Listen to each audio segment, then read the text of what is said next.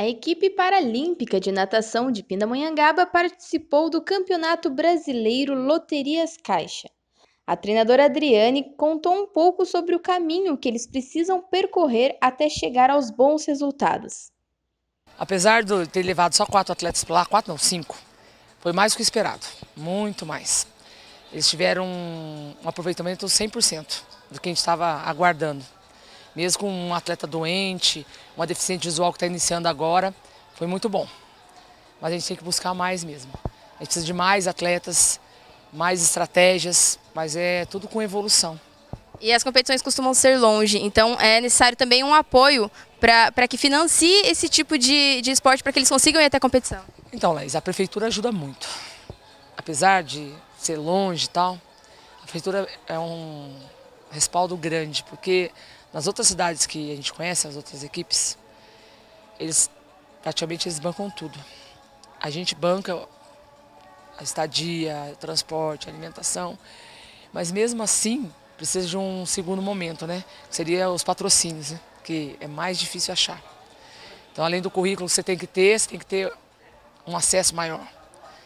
Mas o nosso maior patrocinador hoje é a prefeitura, que nos ajuda da melhor forma possível mesmo a gente passando pelo que a gente está passando. O atleta Sérgio falou sobre seus resultados na competição e comentou a importância da divulgação do esporte paralímpico. A preparação foi um, um treino bem legal com a professora Adriane e treinamento todo dia, uma hora e meia por, uma hora e meia por dia, todos os dias da semana, né? E o resultado foi bom. Fiquei entre os três e consegui abaixar meu tempo em relação à última etapa. E o resultado no geral foi bom.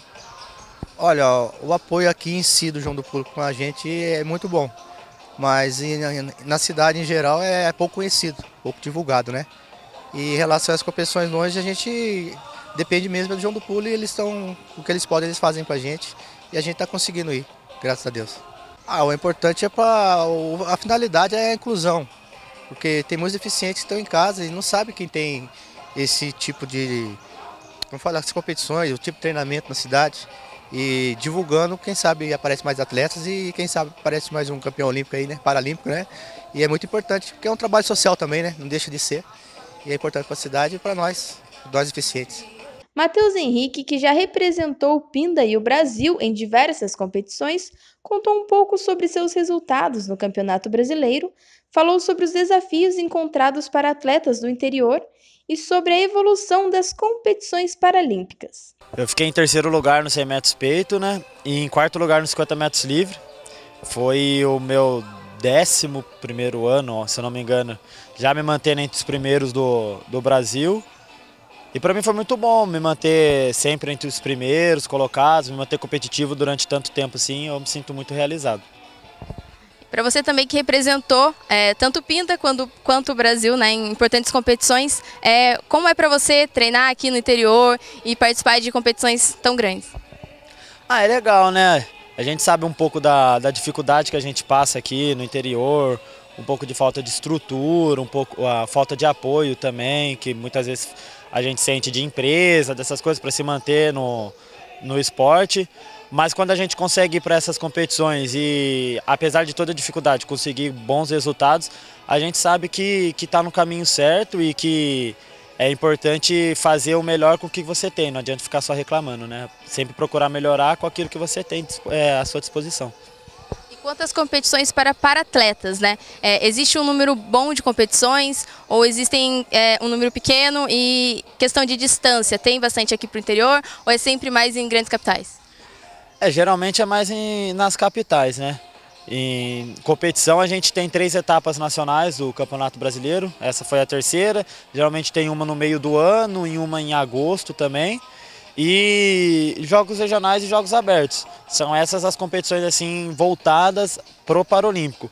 Eu ainda nado algumas competições é, convencionais também, então consigo me manter competitivo durante um, mais tempo, consigo achar mais algumas outras competições, mas muita gente não, não consegue, porque o nível de competições paralímpicas é um pouco restrito. Agora que está começando a abrir mais, está começando a ter o Campeonato Paulista, que é pela federação, mas ainda está tá no começo ainda.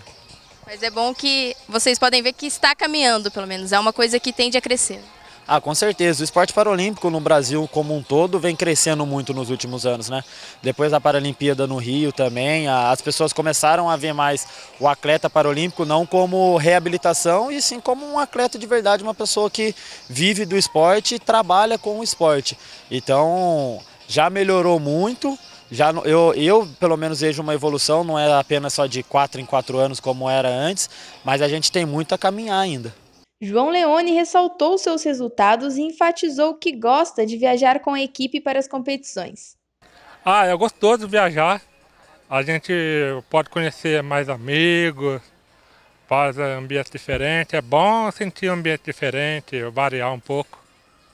Eu aprendi que a gente age como uma equipe, a gente mais, faz mais amigos, a gente interage mais com as pessoas, a gente não fica muito assim da, é, desligado, a gente fica mais ligado com as coisas, com o mundo.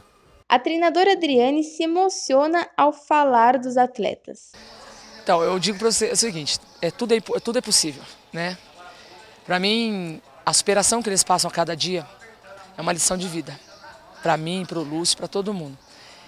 E eu vejo que, eu penso muito que eles não podem desistir nunca. E eu sempre falo isso para eles, todos os dias. Porque já está aqui, é o máximo. E estar tá no circuito de loterias caixa, onde envolve muita gente, principalmente no início do estado de São Paulo, depois do Brasil e todo, é maravilhoso. Então, eu gostaria de dizer para você que eu tenho o maior orgulho deles, eu tenho mesmo. tenho mesmo. Eu até fico emocionado de falar porque eu tenho orgulho deles pra caramba. Eles para mim são um espelho e não vai mudar.